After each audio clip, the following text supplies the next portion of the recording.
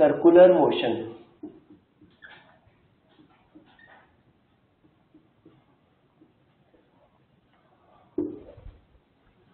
नाम से क्लियर हो रहा है। सर्कुलर मोशन सर्कल क्या होता है? चक्कर, है ना? तो कोई भी मोशन अगर किसी सर्कल में हो रहा है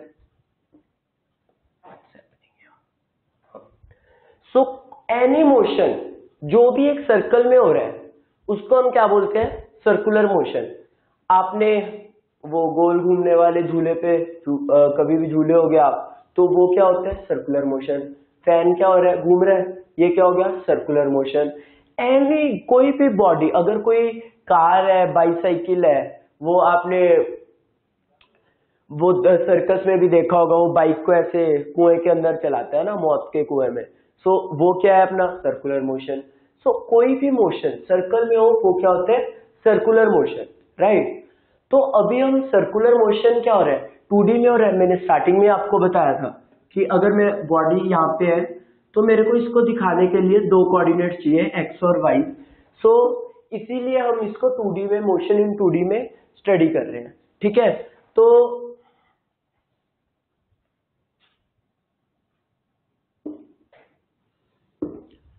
सर्कुलर मोशन सो इसमें हम सबसे पहले एक angular velocity and angular acceleration angular displacement ये तीन चीज़ें इसमें स्टडी करेंगे. एंड इक्वेशंस ऑफ़ मोशंस वो सर्कुलर मोशन के लिए कैसे वैलिड है वो स्टडी करेंगे. एंड देन कॉन्सेप्ट में. सो so, हम देखेंगे angular displacement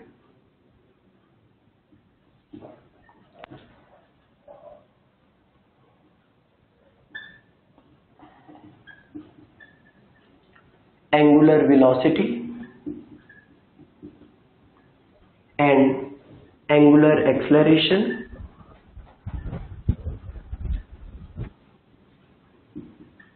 and kinematics equations.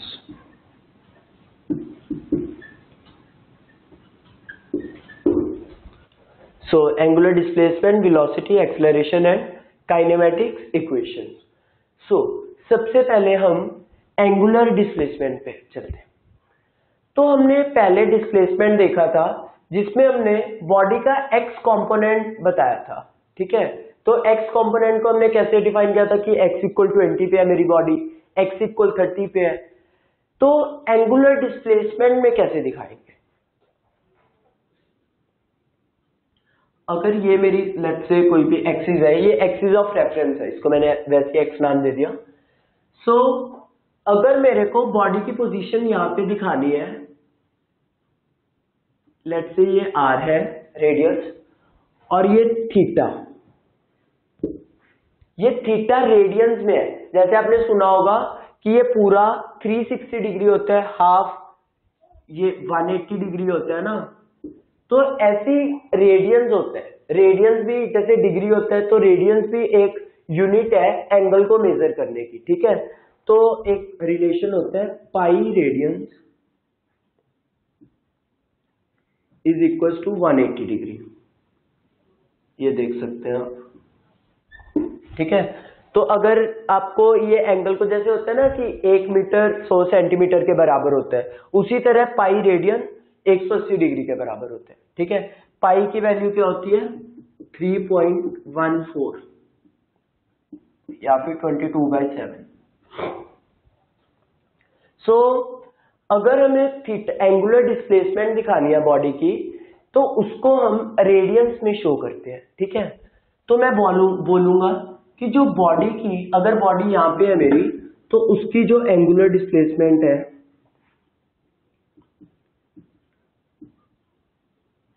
वो थीटा रेडियंस हो गई ठीक है? ये थीटा यानी कि बॉडी अगर यहाँ से लेके यहाँ तक गई तो मैं बोलूँगा कि जो बॉडी की डिस्प्लेसमेंट है एंगुलर डिस्प्लेसमेंट वो क्या होगी? जितना उसने एंगल कवर किया उसके इक्वल होगी। एंड दैट मैं कह दूँगा कि थीटा थीटा रेडियंस के बराबर है। सो so, उसी तरह जैसे मान लो, एक आपने रिलेशन पढ़ा होगा मैथ्स में कि जो आर्क लेंथ होती है आर्क लेंथ वो radius into theta in radians के बराबर होती है। अगर मेरे को ये वाली आर्क लेंथ निकालनी है कि बॉडी ने डिस्टेंस कितना कवर किया, ये तो ठीक है एंगुलर डिस्प्लेसमेंट तो आपने बता दिया कि थीटा रेडियंस उसकी एंगुलर डिस्प्लेसमेंट है। अगर आपको निकालना है कि बॉडी ने डिस्टेंस कितना ट्रेवल किया, यानी कि दिस डिस्टेंस एस तो कैसे निकालेंगे? इस डिस्टेंस को मैं एस बोल रहा हूँ आर्क लेंथ सो ये एक मैथ में रिलेशन होता है कि arc length is equal to circle का radius into this angle theta theta is in radians so इसमें मैं बोल दूँगा S is equal to R theta so so, ये मेरे पास रिलेशन हो जाएगा. S is equal to R theta right तो ये मेरे पास रिलेशन हो गया. S is equal to R theta and angular displacement मेरे पास थीटा हो होगी राइट तो जैसा कि आपने देखा कि इसको हम रेडियंस में बोलते हैं ना इसको थीटा रेड ये भी बोल सकते हो. तो इसी से एंगुलर वेलोसिटी का डेफिनेशन आता है. ये तो था एंगुलर डिस्प्लेसमेंट यहीं से एंगुलर वेलोसिटी का डेफिनेशन आता है।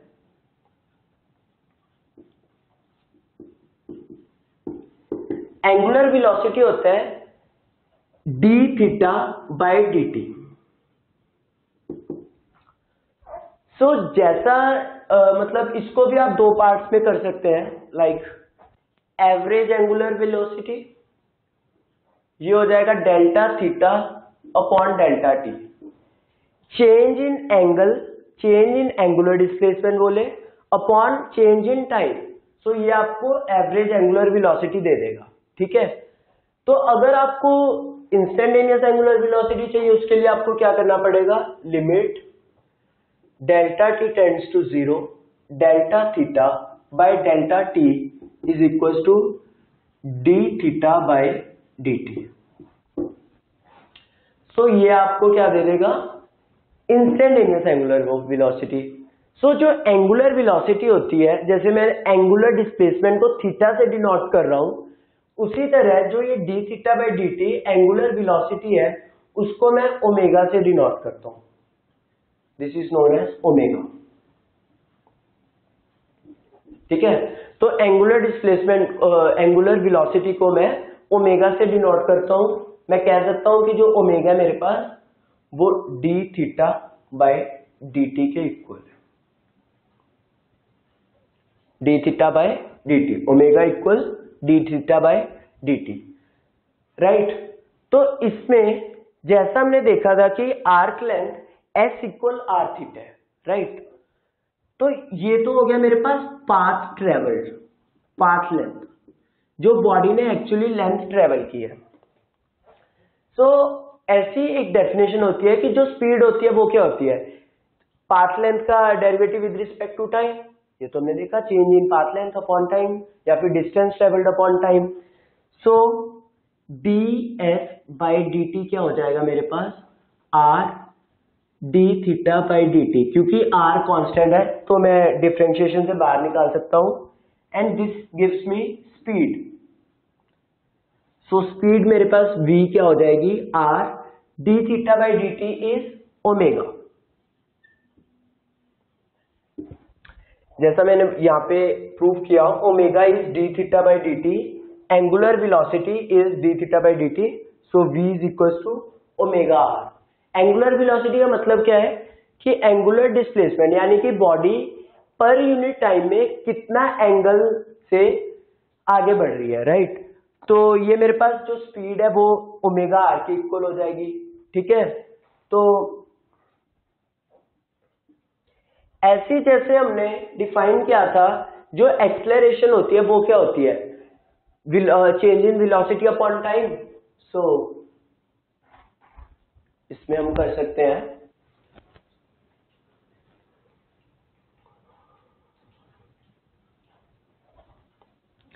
जो एक्सलरेशन होती है,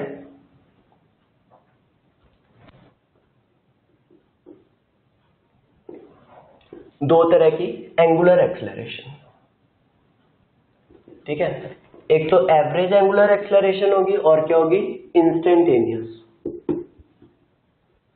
so average acceleration and instantaneous acceleration instantaneous angular acceleration so जैसे हमने मोशन इन वन या फिर इसमें देखा था कि change in velocity upon time मेरे को एक्सलरेशन की वैल्यू देता है, ठीक है? तो जो एंगुलर एक्सलरेशन है, वो कैसे निकालेंगे? Common sense change in angular velocity upon time gives me angular acceleration so average angular acceleration हो जाएगी delta omega upon delta T change in angular velocity upon change in time ये मेरे को average angular acceleration दे देगा। And इसको हम alpha से denote करते हैं। अल्फ़ा सिंबल है जस्ट एंड उसी तरह delta omega by delta T अगर मैं डेल्टा टी टाइम बहुत छोटा ले लूँ, जैसा हर टाइम हम करते आ रहे हैं तो वो मेरे को इंस्टेंटेनियस एंगुलर एक्सलरेशन की वैल्यू दे देगा। So D omega by D T will be equal to alpha instantaneous. ठीक है? तो ये मेरे को D omega by D T alpha उसकी वैल्यू दे देगा। सो so, इसमें हमने देखा v is equal to omega आ रहा है। So D V by D T मेरे पास क्या हो जाएगा? R D omega by D T so D omega by D T मेरे पास क्या है? अल्फ़ा। सो so, यहाँ पे आप पुट कर दें acceleration is equal to R alpha. तो हमने ऐसे तीन रिलेशन निकाले। दे आर वेरी इंपॉर्टेंट बहुत ज़्यादा इंपॉर्टेंट है। S is equal to r theta अगर आपको पाथ लेंथ निकालनी है तो आर इंटू आप एंगल इन रेडियन से मल्टीप्लाई कर दे। Velocity is equal to omega r अगर आपको विलोसिटी निकालनी है टेंजेंशियल विलोसिटी जो टेंजेंशियल विलोसिटी है, वो हर पॉइंट पे अलोंग का टेंजेंट होगी, ठीक है? मैग्नीट्यूड तो हमने बताया ओमेगा आर होगा। और उसकी टेंजेंट के अलोंग होगी हर पॉइंट पे ऐसे। ठीक है? सो so, तीन रिलेशन है v is equal to omega R S is equal to R theta and alpha A is equal to alpha इनको याद रखें ध्यान में रखें एंड प्रॉब्लम इन्हीं में से आता है एग्ज़ाम में ठीक है? सो so, ये तो थे मेरे पास ये इक्वेशन सो so, इन्हीं के हेल्प से जैसा कि हमने देखा कि सारा बिल्कुल similarity motion in one D से है इसकी। लाइक like, जो भी हमने एंगुलर एक्सलरेशन एंगुलर डिस्प्लेसमेंट जो भी चीज़ें हमने डिफाइन की तो हमने देखा कि वो सब मोशन इन वन डी की तरह तो जो हमने मोशन इन वन डी में काइनेमेटिक्स इक्वेशंस यूज़ की है सो so, वो भी इसके लिए वैलिड होने चाहिए। बिल्कुल सही बात है क्योंकि जब सब चीज़ें सेम है तो इसके लिए वैलिड होना चाहिए। हम यहाँ पे लगा सकते हैं। जो फ़र्स्ट मेरी इक्वेशन थी kinematic v minus V zero is equal to A T so यहाँ पे हम लगा सकते हैं omega minus omega not is equal to alpha T so जैसा मैंने वहाँ पे बोला था कि ये कांस्टेंट एक्सलरेशन के लिए है तो जो ये वाला रिलेशन है, वो कांस्टेंट एंगुलर एक्सलरेशन के लिए किसके लिए? कांस्टेंट एंगुलर एक्सेलरेशन ठीक है? सो v माइनस और ये क्या है? एंगुलर वेलोसिटी ये initial angular velocity so omega minus omega zero is equal to alpha T मेरे को ये फ़र्स्ट इक्वेशन दे देगा। एंड जो सेकेंड इक्वेशन थी मेरे पास वो क्या थी? X is equal to V zero T plus half A T square ये मेरे पास सेकेंड काइनेमेटिक्स इक्वेशन थी। सो so, मैं इससे लिख सकता हूँ x replace by theta V zero replace by omega zero T plus half alpha T square so ये मेरे पास सेकेंड काइनेमेटिक्स इक्वेशन है राइट? एंड जो हमने थर्ड इक्वेशन पढ़ी थी, वो क्या थी? V square V square minus V zero square is equal to two A X इस केस में क्या हो जाएगी ये? Omega square minus omega zero square is equal to two alpha theta so ये तीन इक्वेशंस सो ये वाली तीन equations kinematic equations in circular motion है। बिल्कुल सिमिलर टू दिस जस्ट आपको जो वेलोसिटी है उसको एंगुलर वेलोसिटी से रिप्लेस करना है। डिस्प्लेसमेंट को एंगुलर डिस्प्लेसमेंट से रिप्लेस करना है। एंड एक्सलरेशन को एंगुलर एक्सलरेशन से। सो so, ये आपके पास तीन काइनेमेटिक्स इक्वेशन आ जाएँगी। So these are very helpful in solving the problem of circular motion बहुत ज़्यादा हेल्प करती है ये तीनों इक्वेशन सिमिलर है बिल्कुल। सो so, ये था आपका लास्ट टॉपिक इस चैप्टर